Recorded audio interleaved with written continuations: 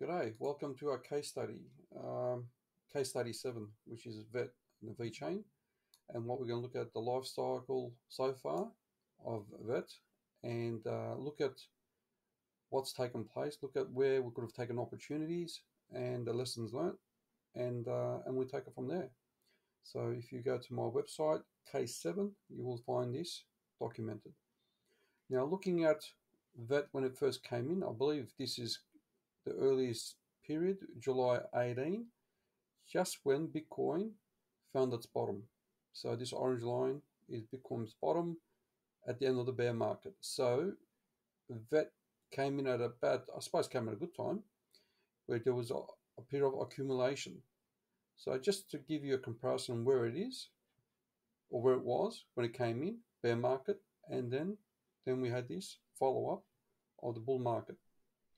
And obviously we had here, right there, the COVID incident. So let, let's mark that. We want to have areas of reference. So we can say that COVID, Black Swan, so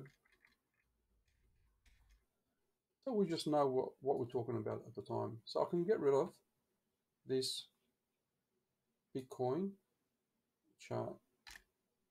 Okay, so it is pretty logical to, so we put the log chart on so we can have a, a bit of a zoom because that price is very low. And during that bear market, uh, that found its bottom right there. And this is a COVID incident. So if we were to bring that up, Okay, we can probably get rid of that now. It's not working with the, the log. Maybe put it up there. There we go. Cool. That is the COVID incident. As you can see, the COVID incident uh, capitulated much more. So this was a, a, golden opportunity to buy. And that, that is applicable to many coins. So capitulation almost to, oh, geez, that is a tenth of a cent. That would have been a perfect opportunity to buy. And whoever bought that would be laughing. That would be to the top 16 16,000% far out. Anyway, so that's those are opportunities that only comes probably once in a lifetime. COVID, uh, these these black swan events. Now looking at this chart, let's let's start with what we understand is accumulation and the and the bottom. Why we think this is the bottom? Well, you can see that it, it touched it three times actually, two or three two separate instances where price was held. And uh, if we ignore this COVID incident, then this pretty much was the bottom in. If we to look at Bitcoin, there was something of a similar structure where we had the V shape and it was a Adam and Eve type of formation or reversal uh, triangle.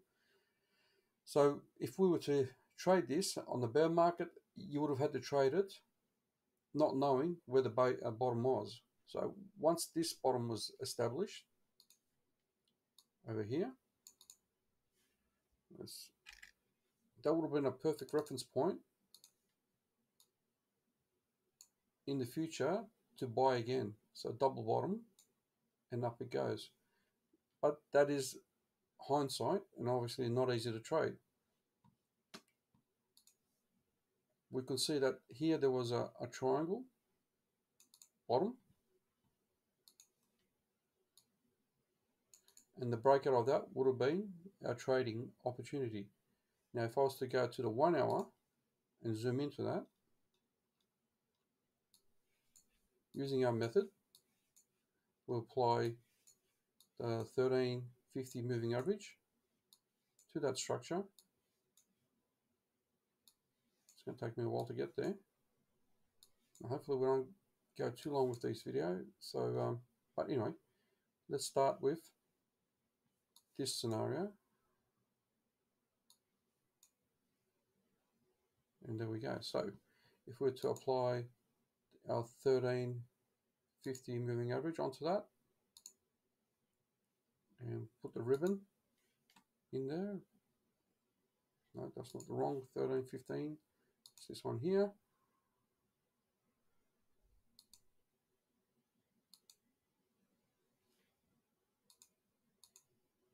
The crossover.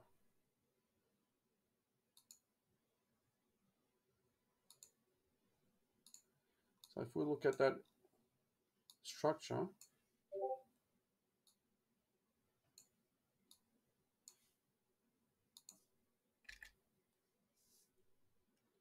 we can see that we have the ABCD formation if this chart fills up, which, which just seems to struggle. It's not doing the job. Sorry about that, guys. I'm not sure why it does that. The two hour, where is it?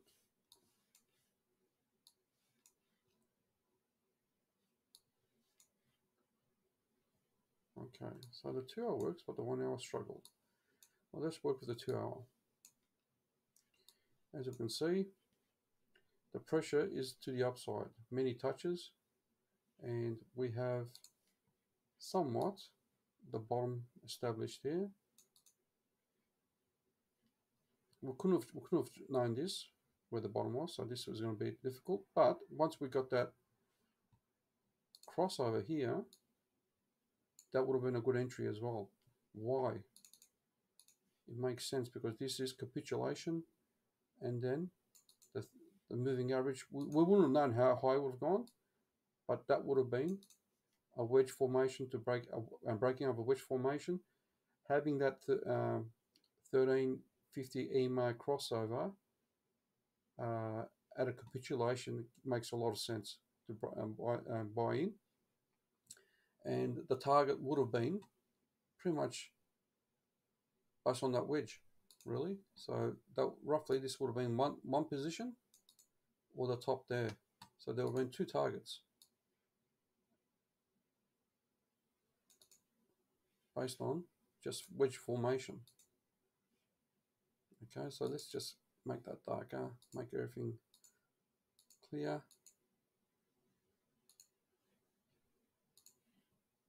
This is a case study, so we want to make sure we document it right. Now that is a lesson to be learnt. When this price price capitulates and you get a, a, a wedge type of formation and a break and a crossover on the 1350, this would have been on the one hour within the structure. So we could have entered earlier. But if we were to look at the candlesticks, right there you can you can sort of see that it's a bottom formation as well we've been better off probably on the four hour over here but the fact that we got a crossover if we were to make this accurate our lines would have been roughly so that that, that line would have been yeah right there so what it's done is it's broken above it found support and this is the confirmation so it was building up. You can see that line building up. It's holding that level. More holding and then taking the moving average and then that big this candle here would have been the signal to buy in straight after that 1350 crossover. This is a two hours, so I would have had it a bit earlier. And obviously the stop loss would have been somewhere underneath there. So that would have been a great opportunity and keep that in mind for future for um, opportunities. So that, that's an example. Now if we were to apply Fibonacci to this level, from there to the top, you can see that it's it's past those um, 0.5, even the 618. So that was a pretty bullish move, and that would have been the first sign of a reversal, I would imagine, because the bounce was not a dead cat bounce. So let's look at,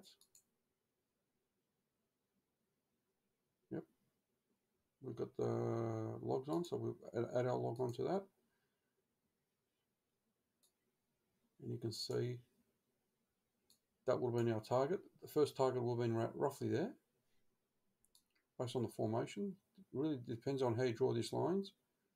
Um, that makes sense based on uh, the Elliott, Elliott um, correction wave. So you will have a bounce up, down, the top. That'll be now A, B, C, D, and E. So that makes sense. Um, that you can refer to this formation, the ABCDE, on the Elliott cycle correction. So let's put that in there.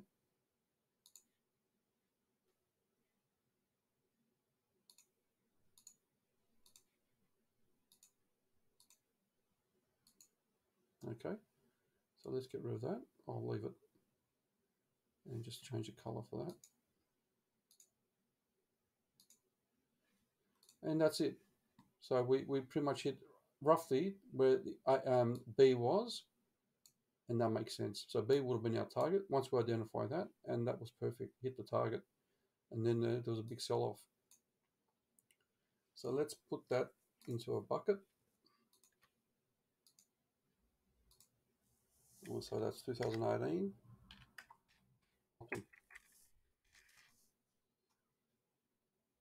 Moving along, we would have just looked, wouldn't have a clue that was the bottom. We would have just traded that and we, we pretty much hit the top. That would have been a good opportunity to sell. Obviously, that was a big sell off. and the second sell off, we would have looked at an entry point 382 makes sense. So it went slightly over. That would have been a good pullback. Would have been watching for. So once we got this, um, we would have taken a percent. You would have taken a percentage along the way. That would have been 100 percent. And once we got this again, another 1350 crossover, that would have been another bearish sign.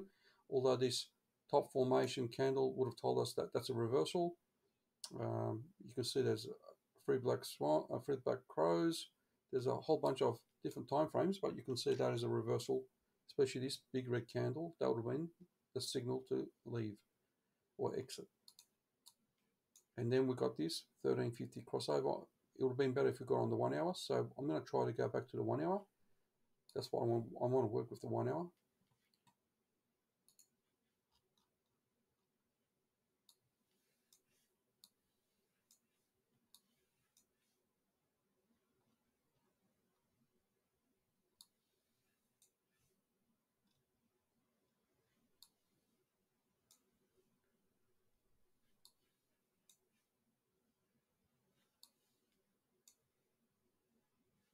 So TradingView doesn't get the one hour in that area. So it only does a two hour. So we, we can't get that information. It doesn't go back that far.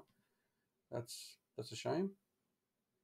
So we've got this other formation and then on the we'll need to look at the break the reversal which is right there again there's another 1350 moving average crossover the last stage and we could have looked at that as a, a trade. Let's let's look at the two hour. So that would mean a opportunity there, but unfortunately the, the charts aren't playing with us at the moment. The one hour doesn't go all the way back, only goes up to this point. So we just make do with that, and I'll keep that in mind with the other case studies as you can see, if we use a two hour, that was a one hour and roughly was there. So two hours not much far off. Looking at this formation, we wouldn't have a clue what was going on. Only the fact that this was an isolated trade and we would have watched. Now you can see price causing another triangle and we had a 1350 crossover there as well. Right?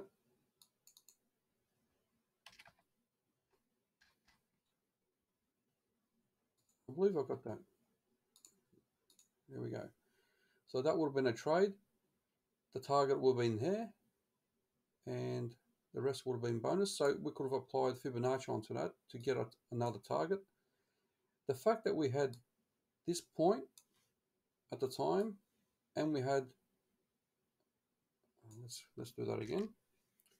We had this point, and we had this point as reference. We would have just drawn that line and seen where it would have taken us. Okay, and if we put the auto in, we could straighten that line out a bit better. So let's let's just fix that. That's our point of reference. And you can see we were just drawing that line and just use that line because we've got two resistance points. And we, if we were to make this trade based on this triangle breakout to the upside, retest on the, the structure, and then up it goes. this would have been the target there based on the triangle. Now, we would have applied the height of this triangle and moved the, whoops, we've grabbed that, applied it to the breakout, and that would have been our target, perfect. So that within this structure, we would have made a second good trade based on this. So second lesson learned, a sell off, third, and we will probably take 50%, not knowing that it might, it might keep going up. In this case, it was uh, a, a pretty much sell off again. Now, do we have anything to go with this? Not really, except the horizontal level. So this would have been what would have we would have put as a support level. And we would use that going forward. So anything below that, if it came down here, we would have looked to buy because that would have been a double bottom.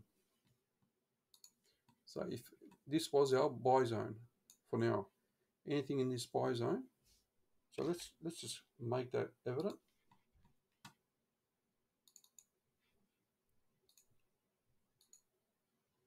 Right, that is our buy zone. Because of this action, we because of this result, and there we can see that it's taking formation, and it didn't come quite didn't come quite there. So we, this is a second level of support, and when price came down, you can see that there was buying and, and it dropped just below. And I wouldn't have bought, bought that, tell the truth. So that would have been an opportunity. However, would have had this line across. You can see that that was resistance. And again, similarly, we had this formation, 1350 crossover on the one hour. We would have bought in likely to be stopped out there and and and lost an opportunity to trade. So that would have been a rough period to trade. Now the I would have looked for accumulation. If I bought that in and then that came and we sold out, I would have held on probably 30% of my coins at that stage and just traded that. And uh, and not sure what I would have done there, but the target was there and that so I would have basically looked for something along these lines and it didn't quite work out. Maybe like that where that could have been the A B C D E and it didn't. So I, would, I wouldn't have known what the formation was but I would have looked for a bottoming formation. Obviously that was the case. This was it. Not to know but once we've got that, so here I wouldn't probably trade. It's just it's just too much damage. I would probably short there, shorting there, because of the triangle. So sell. This is not our aid. So this is what's really taking place from the bottom formation. This is our A. That's our B. That's our. That's, where's our C? C, D, and E. That would have been our trade. So th this didn't quite come down. So we would have had something like that, really. Along those lines. That would have been close enough. So I would have put that line there. That is our bottom line. Um, if you look on the four hour, it's probably a wick. But this makes sense. And obviously a bit of a dip. And again, when you get the crossover, so we have another formation there. So we need to, the formations are pretty important if you know how to read them. That will be another wedge. The target will be in that height. Right there. That will be our target. And we got it there. And you can see a bit of a sell-off. But now we've got this trend. It's broken this big triangle. So this is bound to go. So this, if I was to recognize that, I wouldn't have sold. I would have kept holding it to to the point of A. So this this would have been our target right there.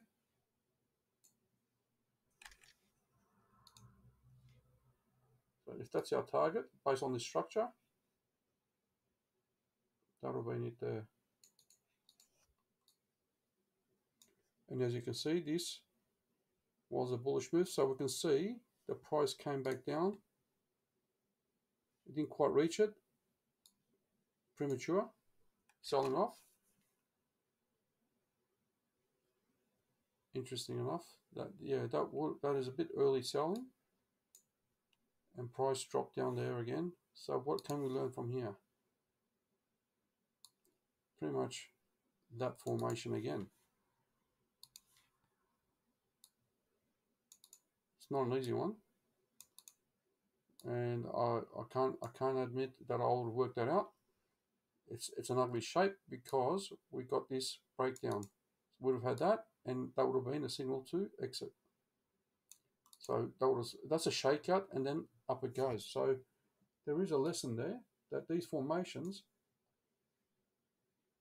that was to retest this level.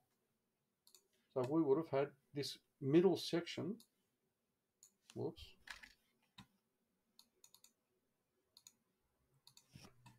We would have had this middle section as a majority of volume. So this middle section of the triangle is based on Wyckoff's method, a buy zone. So when price comes, breaks out the triangle, so what we have is this. We have a triangle, and what happens is it tends to break up, come down. Sometimes it comes down more. If it's better, if it's bullish, it will, will go that way through the triangle. Sometimes it dips, and then up it goes again. It's a bit of a shakeout.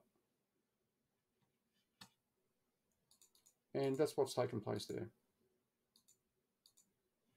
And if you were to identify this grey zone, that would have been a good buy zone. And then off it goes. So the rest is history. And, uh, and there's an uptrend. So I would have traded the rest based on uh, the 10, 20 moving average. And I will look for cradle setups and so on.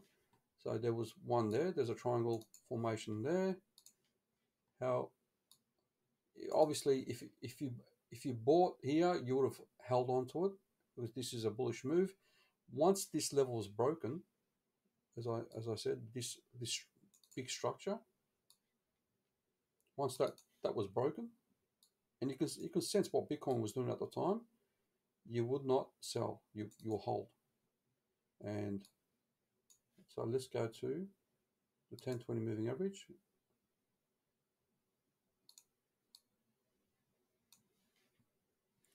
and we would have looked for the four hour chart probably.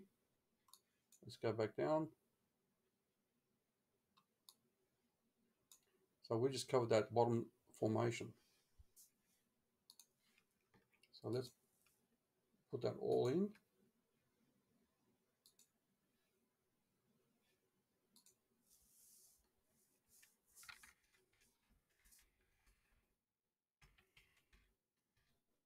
Okay. You can see based on the 10-20 moving average, we'll need to get rid of these two, the weeklies. That wouldn't help us there at the time. So we will trade these based on the, uh, the 10 and 20 moving average. Sorry about that. we'll draw a strength. So we've got this trend line. At the time, we'll just look at that. And you can see this warning wedge or fan. And we can use a Livermore. You can see that is a Livermore structure and pretty much a very bullish structure it is. And if we were to look at that, I would say that is a, a key level of some sort. And we will need to use Fibonacci to figure that out. So if we were to look at the top, so that's a that is breaking past this previous level, important level. So let's let's do Fibonacci extension. So if that was our if that's our reference point down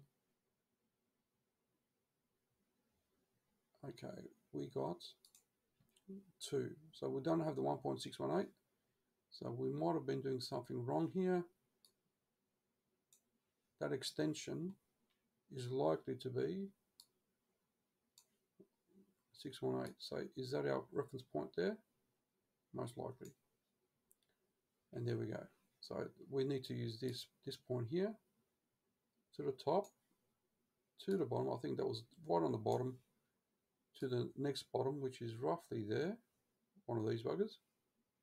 And that is our 1.618 so slightly over performance and that'll be a selling point. That makes sense and we've got the double double top and probably and you can see once we lost this this level it'll be an exit. Double top if you can work that out. I would imagine there's a bearish divergence there. Small but it's this is very hard to trade gotta admit.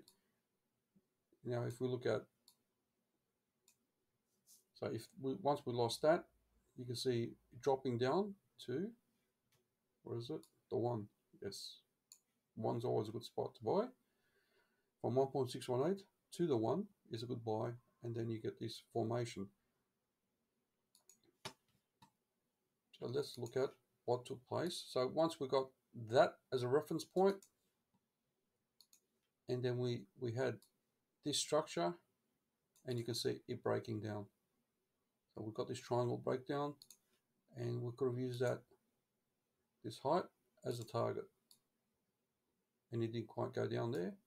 So this this level kept it. So that would have been a hard trade. It was just watch and observe. So what do we have here we have another triangle formation a reversal formation. And again this will be now trading op opportunity right there. We have confirmation. Breakout trade there. Just on the structure. We've got this 1350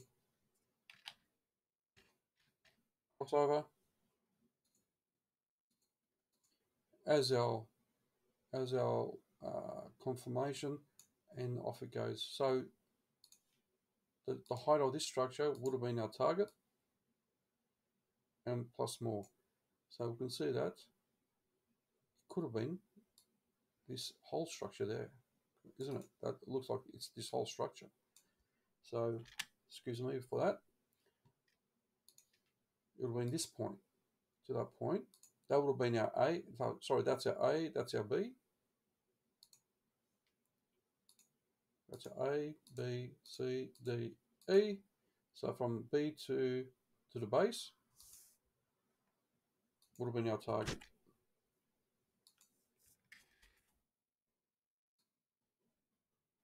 And it overperformed, which is okay. And we can apply Fibonacci as to Y. So if we were to, from there to there to the bottom, 618 was our target. It overperformed and that's okay. So you can see a lot of this is making sense from a trading perspective. Once that the target was hit, there was obviously new resistance. So now we're on the Wyckoff mode. This is reaccumulation or redistribution. And we once once we had this level of support, you can see we struggled to hold that. And actually it, it did give us a good opportunity to buy. That that was a shakeout.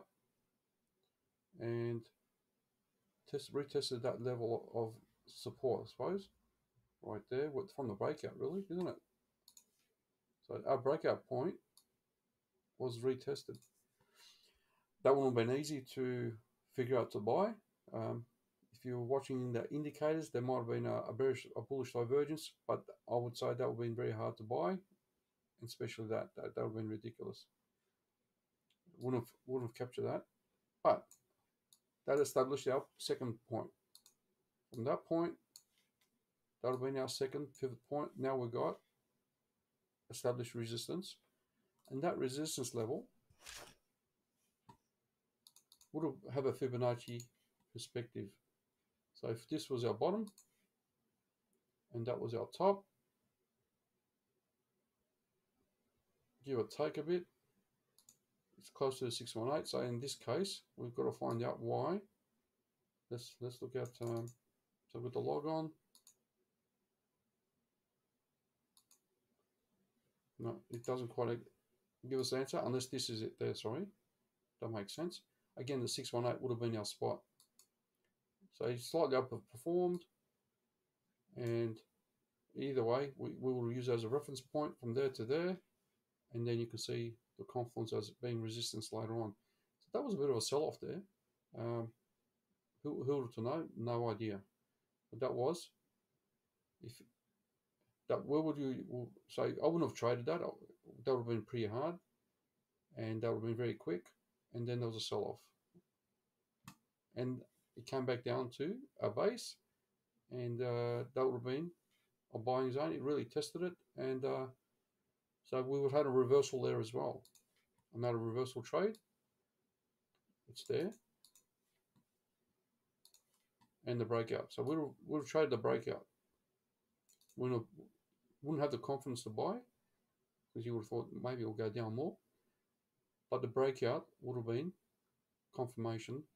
And looking at this, you got the 1350 crossover again. Price hitting that range. So if you bought there, you'll acknowledge that there's a, a trend res, resistance trend line. It pulled back to a Fibonacci level as we would expect to 0.5 in this case.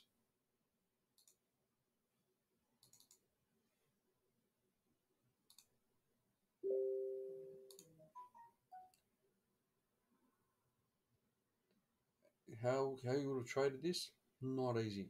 So that, that would have been a reason to sell. So this was a, a good, uh, what is it, four hour trend to trade. The pullback would have been expected based on that trend line selling off, double top, and then pulling out more. So this would have been evident A to B equals C to D, I would imagine. Almost. Yep, that's would have traded that as AB equals CD. And then a continuation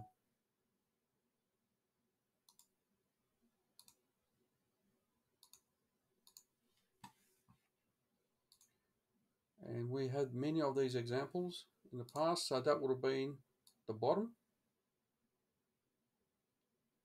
and you can see our price that would have been a good area this this has occurred so many times with Bitcoin similarly that would have been another opportunity buy I would have been bullish at this point because that would have been the double bottom I would have recognized hopefully that that's the A, B, C. This is the D. The D pullback, that would have been a buying opportunity, so that would have been a better surprise. But that we know that happens often. So the second second level would have been bought, second time around. And um, up, up it goes. So we had a fake out, looks like. Bit of a fake out there. Oh, sorry, no, we didn't. wasn't a fake out. So Bitcoin was doing what it was doing. So you need to keep an eye on Bitcoin. And then we had that COVID incident where you just couldn't, you couldn't. This should have been a continuation, in my opinion. That would have been that pullback was Bitcoin's uh, Bitcoin hitting 10,000k right there. BTC equals 10k.